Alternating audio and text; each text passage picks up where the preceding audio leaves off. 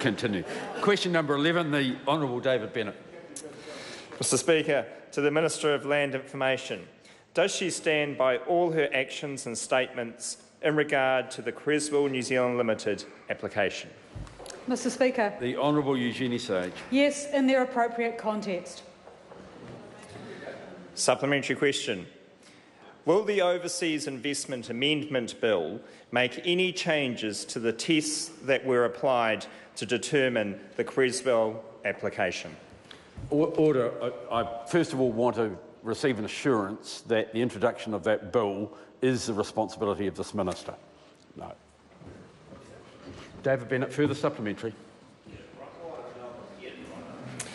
What independent economic advice did the minister receive to determine that there was a substantial and identifiable benefit to New Zealand from the Cresswell application?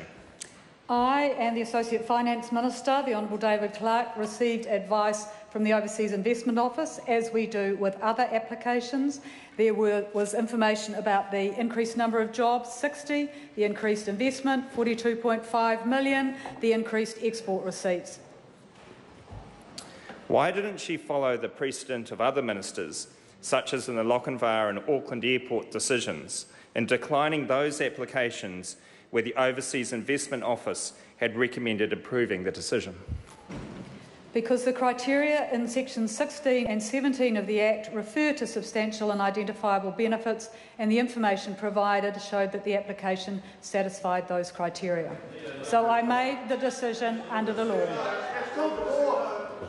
A point of order, the Honourable Gerry Brownlee. Uh, just uh, with regard to your ruling out that first uh, supplementary, the Minister may not be responsible for the bill that's currently before the House, but is surely responsible for advice that would have been provided in the formation of that bill. And the question was about the advice that would have been provided uh, by way of asking, is it a provision?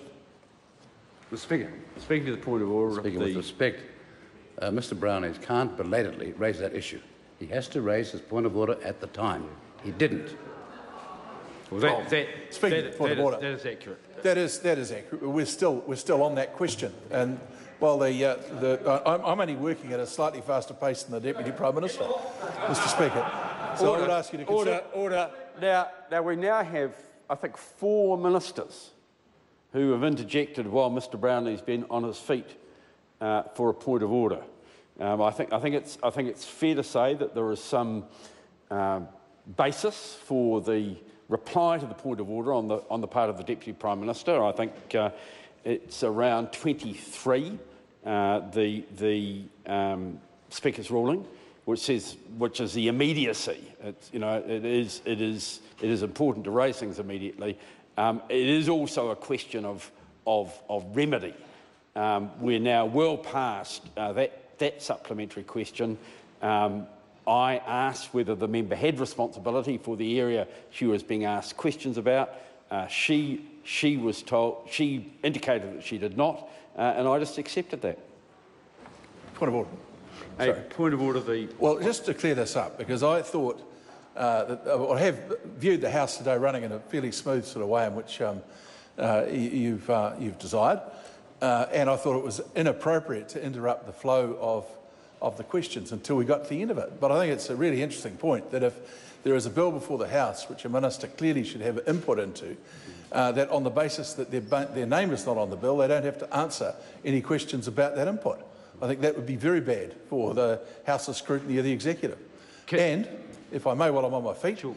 uh, given that there were four interjections and we're slightly short of supplementaries for the next question, yeah. how do you feel about that? Well, on the uh, on the fact that the, the sides are couple up, and, and unfortunately, some of the members who were supporting him also um, were, were, involved in the exercise. I think we'll leave that there. What I am going to do is ask David Bennett to ask the question exactly as he did ask it, and it gives me the opportunity to review my decision uh, because we're going quite well on time and I'm feeling generous. Supplementary question. Will the Overseas Investment Amendment Bill make any changes to the tests that were applied to determine the Cresswell New Zealand application? Yeah, and, and sorry, I'm, as, as I ruled earlier, I, unlike as was indicated to me, it was a question of advice. There, there has been, there was no suggestion of advice in there. It was a factual question uh, around, around a bill for which the Minister has no responsibility, and I, um, I reinforce my, I, I reiterate my decision to rule it out. Any further supplementaries, Mr Bennett? Extra supple. Well, you, you're not getting that one. That one, having it again doesn't count, but you're not getting an extra one for getting it wrong. No, no, no, for the other. Right. Question number 12, Denise Lee. To the Minister of Local Government, is she satisfied with the